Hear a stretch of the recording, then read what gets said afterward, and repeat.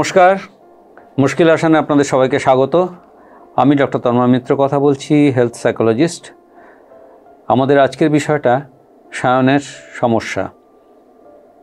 সায়নের সেই সমস্যা যেখানে সমস্ত পুরনো স্মৃতিগুলো, যে স্মৃতিগুলো আনন্দের নয়, দুঃখের, সেইগুলো সায়নের মাথার মধ্যে ঘুরতেই থাকে, সেগুলো থেকে ও বেরিয়ে আসতে পারে না। এবং তার জন্যই সায়নের সমস্ত সময়টা কেটে যাচ্ছে এই সামনের দিকে এগোনোর কথা সে ভাবতেই পারছে না। শায়ানকে নিয়ে এসেছিলেন তার বাবা মা। তারা বুঝতে পারছিলেন যে শায়ানের সমস্যাটা কিন্তু ক্রমশ বেড়ে যাচ্ছে। যেটা হচ্ছিল, শায়ানের বছর বাইশ বয়স, ও কোনো রকমে আস্তে আস্তে ইলেভেন টুয়েলভটা শেষ করেছে, কিন্তু তারপর থেকে নিজের কেরিয়ারের সম্পর্কে সম্পূর্ণ উৎসাহ হারিয়ে ফেলেছে। ওর মনে হচ্ছে যে ওর জীবনে যা কিছু ঘটে গেছে, সবগুলো এই নেগেটিভ ব্যাপারগুলো, যেগুলো সেই ছোটোবেলায় যখন স্কুলের থেকে শুরু। অর্থাৎ স্কুলের অনেক ঘটনার পাশাপাশি যেমন রং খেলার ঘটনা, যার সঙ্গে স্কুলের সম্পর্ক নেই সেগুলোও সবাই রং খেলছে, রং খেলতে ওর একটু ভয় লাগতো। রং মেখেছে, ওকে রং মাখানোর জন্যে বড়রা চক্রান্ত করে ওকে রং মাখিয়ে ভূত করে দিয়েছে এবং মাথায় জল ঢেলে এমন একটা অবস্থা করেছে, ও ভয় পেয়েছে, কান্নাকাটি করেছে এবং সেটা নিয়ে সবাই মজা পেয়েছে। সেই ঘটনা। এখনও তাই। এখনও সেটাই। ওর মনে হচ্ছে চলছে। কালী পুজোর আওয়াজে, পটকার আওয়াজে ওর ভয় লাগতো। সেই ভয়টা ওর মনের মধ্যে থেকে যেত। সেইটা সবাই জেনে ফেলেছিল কি করে। ওকে অপদস্থ করার জন্যে ওর পেছনে এই কালী পটকা ফাটিয়ে বা এই বোমা ফাটিয়ে আওয়াজে ওকে চমকে দেয়া, সেটা চলেছে। সবাই সেই মজাটা নিয়ে হাসাহাসি করেছে এবং ও কীরকম লুকিয়ে পড়ছে ঘরের মধ্যে, সেইটা নিয়ে ওর মামাতো পিস্তত ভাই বোনরা অনেক মজা করেছে। ওর সেটাও মনে হয় এই গতকালের ঘটনা। ক্লাসে স্যার ওকে কান ধরে দাঁড় করিয়ে দিয়েছে। যখন ও কোনোদিন ক্লাসে গণ্ডগোল করতো না, ও কিন্তু ভালো ছেলে ছিল। এবার ও যেখানে বসেছিল সেখানে আর কয়েকজন গণ্ডগোল করছিল। স্যার ওকেও ভেবেছে যে ও বোধহয় ওই দলে আছে। ওকেও কান ধরে দাঁড় করিয়ে দিয়েছে। সেই ঘটনাটাও যেন গতকালের ঘটনা, ওর এরম মনে হয়। একবার ডিসিপ্লিন অ্যাকশানে অন্যরা দুষ্টুমি করেছে বলে তিন দিন স্কুলে শাস্তিমূলক ব্যবস্থা হিসেবে অ্যাটেন্ড করতে দেওয়া হলো না স্কুল। সেখানে ওর নামে চিঠি গেল। ওকে বাড়িতে প্রচণ্ড অপমানিত হতে হলো।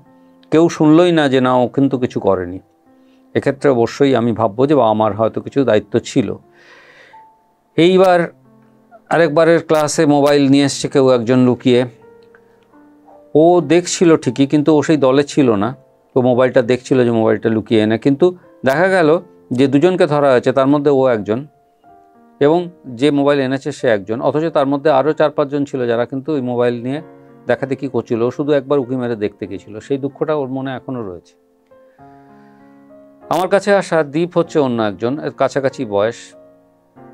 ওর স্কুলের যে এক্সকারশনের গল্পটা, সেই গল্পটা দ্বীপের এখনও মনে পড়ে। এক্সকারশনে গিয়ে রাত্রিরে যখন এক জায়গায়, এক ঘরে ঘুমানোর জায়গা, সবাই মিলে ওকে ভয় দেখাচ্ছে। ওকে শুতে দিচ্ছে না, সেটা ওর মনে এখনও ঘুরে বেড়ায়। জানলা দিয়ে ভূতের ভয় দেখানো হচ্ছে ওই এক্সকারশনে যেখানে টিচারদের কাছে লুকিয়ে অবশ্যই, সেটা ওর মনে পড়ে। এবং ও ভীষণ অপদস্থ, অপমানিত। এবং রাস্তায় ওকে প্ল্যান করে একা ফেলে, ওর সঙ্গে ও একটা বিয়ে বাড়িতে গিয়েছিল, সেখানে ওর ভাইয়েরা, মামাতো, পিস্তত ভাই বোনেরা এরকম করতো। ও একা হয়ে গেলে ভয় পেয়ে যেত, এই জন্যেই। এটা ক্লাস টেনের গল্প। আর এছাড়া এরকম গল্প আরও আছে যেখানে বিয়ে বাড়িতে গান গাইতে বলা হয়েছে। ও তখন কলেজে পড়ে। সবার সামনে ও কিন্তু গান গায় না। সবাই সেটা নিয়ে হাসাহাসি করেছে। এটাও কিন্তু ওর একটা খুব দুঃখের স্মৃতি। আর তানিশার গল্পটাও ঠিক এরকম। তানিশার বয়স আর একটু কম, আঠেরো বছর। এই বিষাদের স্মৃতিগুলো জড়িয়ে আছে। যখন সরস্বতী পুজোর দিন, ওর বন্ধুরা ওকে বলেছিল যে ওর কোনো ড্রেস সেন্সই নেই। আর স্কুলের টিচার ওকে বলেছিল যে, তোমার সায়েন্স নিয়ে পড়া কখনো উচিত না। তুমি পারবে না।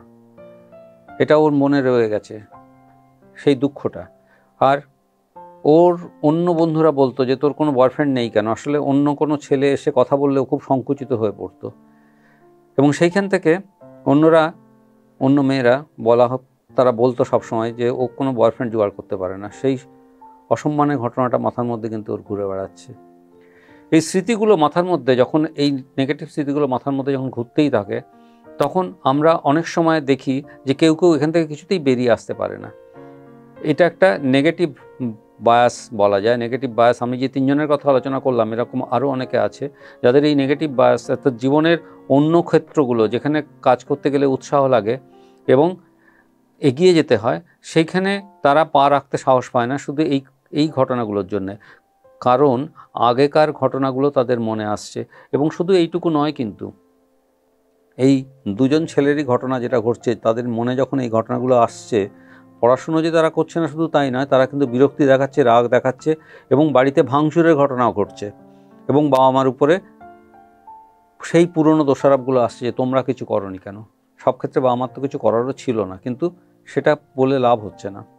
এবং এই যে বাড়ির লোককে দায়ী করা হচ্ছে, প্রচণ্ড অশান্তি চলছে, এটা কিন্তু একটা মানসিক সমস্যার জায়গায় চলে আসছে। এই যে নেগেটিভ স্মৃতিগুলো আমাদের মনের মধ্যে বারবার এসে যায়, কিছুতেই আমরা সেগুলো সরিয়ে ফেলতে পারি না অনেক ক্ষেত্রে। আমাদের ব্রেন কি হয়? লজিক্যাল বিশ্লেষণ যেটা, সেটা কিন্তু করে না। এটা একটা ইমোশনাল বিশ্লেষণ হতে থাকে। একভাবে ইন্টারপ্রিট করছে এবং স্টোরেজ হচ্ছে। ব্রেনের ভেতরে এই ইন্টারপ্রিটেশনের জায়গাটা যদি অন্যরকমভাবে হয়, এটা যদি একটা আমরা যেটা বলেছি যে আমাদের এগুলো যে ইমোশনাল স্টোরেজ যদি হয়, তাহলে কিন্তু এটা নেগেটিভভাবে স্টোরেজ হচ্ছে। আমাদের কোনো সময় সেটা আমরা লজিক্যাল থিঙ্কিং দিয়ে আর বিশ্লেষণ করতে পারছি না। আমাদের হিপোক্যাম্পাসে আমাদের এই মেমোরিজগুলো স্টোর স্টোরেজ থাকে। কিন্তু দেখা যায় যে যাদের এই স্মৃতিগুলো, এই দুঃখের স্মৃতিগুলো বেশি আসছে, তাদের ব্রেনের ইমোশনাল সেন্টার যেটা, সেটা একটু ওভার অ্যাক্টিভ এবং কেন এক্স্যাক্টলি এরকম হয় আমরা এখনও সম্পূর্ণ জানি না, কিন্তু এই আমাদের যে ডিফেন্স মেকানিজম যেগুলো যেগুলো সম্পর্কে আমরা জানি যে মনোবিজ্ঞানের ভাষা এগুলোকে ডিফেন্স মেকানিজম বলে, সেগুলো কিন্তু ঠিকঠাক মতো হয়তো সবসময় কাজ করে না বা ডিফেন্স মেকানিজম ভুলভাবে কাজ করছে, সেই জন্য কিন্তু এই ধরনের জিনিস হতেই থাকে। অর্থাৎ অজ্ঞান মনে কিছু জিনিস আমরা সরিয়ে ফেলতে পারি, সরিয়ে দিতে পারি, যেগুলো আমাদের নেগেটিভ স্মৃতি, সেগুলোকে সরানো যায়, সরানো সম্ভব হয়। কিন্তু সেটা যদি না হয় বা সেটা ঠিকমতো যদি আমরা যেটা বলছিলাম যে স্টোরেজ যদি ঠিকমতো না হয়, তাহলে রিট্রিভ করার সময়, অর্থাৎ সেগুলো পুনরুদ্ধারের সময় কিন্তু ওইভাবে খারাপভাবেই সেগুলো আসছে। ফলস্বরূপ যেটা দেখা যায়, সেটাকে এই রুমিনেশন বলছি আমরা, বা এই রুমিনেশন ডিসঅর্ডারও অনেক সময় বলা হয়।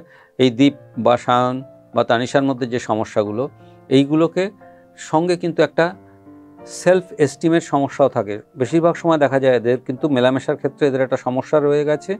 অর্থাৎ এদের একটা কমিউনিকেশনের সমস্যা এবং তার সঙ্গে নিজের সম্পর্কে নিজের ধারণাটা খুব ভালো নয়।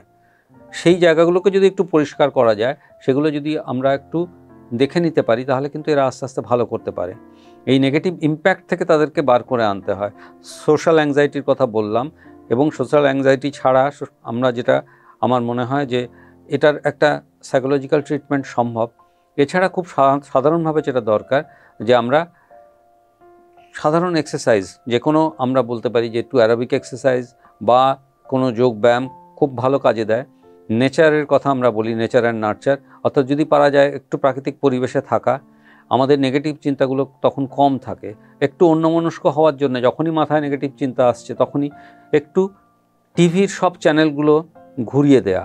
মানে আমি একটা কোনো চ্যানেল দেখছি তা না, কিন্তু সব চ্যানেলগুলো চেঞ্জ করতে থাকা। তাহলে একটু সুবিধা হয়, ওই নেগেটিভ চিন্তাগুলো মাথার থেকে একটু বেরিয়ে যায়।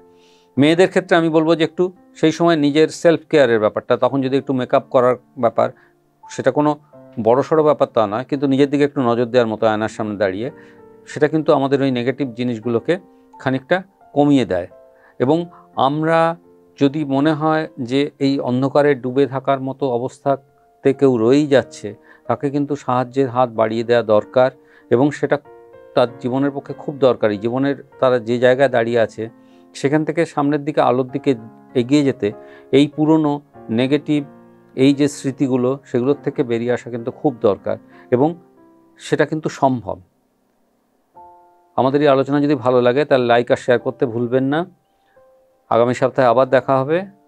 আজ এই পর্যন্ত নমস্কার।